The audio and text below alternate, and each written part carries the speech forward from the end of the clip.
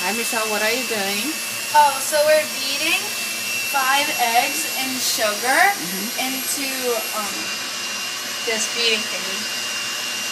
Uh, to do what? To make up? Fluffiness.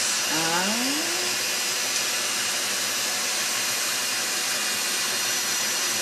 Is it my turn? Yeah.